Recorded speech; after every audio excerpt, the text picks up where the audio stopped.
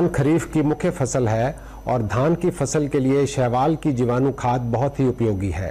धान के खेत की जो खड़े पानी की अवस्था है, वो इन जीवाणुओं के लिए बहुत ही अनुकूल है और ये जीवाणु वहाँ पनपते हैं और ये खेत को नाइट्रोजन देते हैं। और औसतन ये देखा गया है कि 20 से 25 किलोग्राम शुद्ध नाइट्रोजन ये प्रदान करते हैं। तो इसका मतलब है कि किसान 40 से 50 किलोग्राम यूरिया की बचत प्रति हेक्टेयर कर सकता है। और नाइट्रोजन के अलावा इसके जीवाणु जो इस शैवाल जीवाणु खाद के जीवाणु जो होते हैं, ये भूमि को भी सुधार करते हैं। ये भूमि की कार्बनिक शक्ति, भूमि की एकत्रीकरण शक्ति और भूमि की जो पानी अवरोधक शक्ति है, उसको भी बढ़ाते हैं।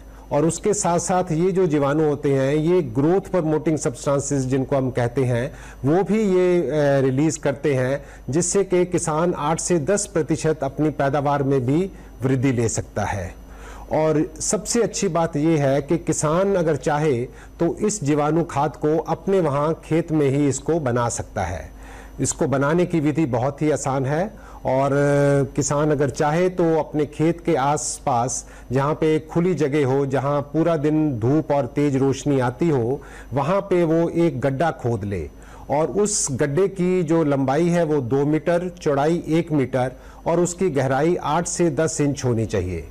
उस गड्ढे के में पॉलीथीन बिछा देना चाहिए और उस, ताकि पानी जो है वो नीचे ना जा सके। उस गड्ढे में प्रति वर्ग मीटर के हिसाब से तीन चार किलो खेत की छनी हुई मिट्टी और उसमें 100 ग्राम सुपर फॉस्फेट मिलाना चाहिए और उसमें पानी भर देना चाहिए। जब पानी 6 इंच तक हो जाए तो उसमें 100 ग्राम सिंगल सुपर फॉस्फेट डाल देना चाहिए और इन सबको मिला देना चाहिए। क्योंकि गड्ढे में पानी खड़ा रहेगा और मच्छर पैदा होने की स्थिति हो सकती है तो उसमें पाँच एम एल मैलाथिया वो उसमें डाल के और इस सबको मिला देना चाहिए। जब ये सब अच्छी से मिल जाए और मिट्टी जो गड्ढे में है वो नीचे बैठ जाए तो 100 ग्राम जीवाणु खाद का टीका, जो शैवाल का टीका, जो हमारे पूसा संस्थान से उपलब्ध है, उसको पानी की सतह के ऊपर बुरक देना चाहिए और इसको खुले में छोड़ देना चाहिए।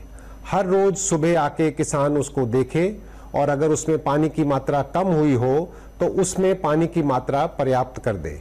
छः सात दिन में आप देखेंगे कि ये शैवाल के जीवाणु उसमें उगने शुरू हो जाएँगे और एक परत बनानी शुरू कर देंगे और 10-12 दिन बाद वो परत काफ़ी मोटी हो जाएगी। और जब वो परत मोटी हो जाए तो उसमें पानी देना छोड़ दें और उसको सूखने दें। और सूखने के बाद जो पपड़ी तैयार होगी, उस पपड़ी को वो इकट्ठा कर ले और एक पॉलीथीन बैग में रख लें। और फिर उस खाली गड्ढे में फिर से पानी, सुपर फॉस्फेट और मालाथियान डाल दें और 10-12 दिन बाद उसमें से फिर पैदावार ले सकते हैं। इस प्रकार एक गड्ढे से किसान चार पाँच बार पैदावार ले सकता है। और वो जो जीवाणु खाद इकट्ठी होगी, उसको वो अपने धान के खेत में इस्तेमाल कर सकता है। यदि किसान इसे अपने वहाँ नहीं बनाना चाहते तो ये जीवाणु खाद हमारे पूसा संस्थान से भी उपलब्ध है और इसका 500 ग्राम का एक पैकेट जो एक एकड़ धान के लिए पर्याप्त है, वो हमारे यहाँ पचास रुपये में उपलब्ध है। और इसको उपयोग करने की विधि बहुत ही आसान है।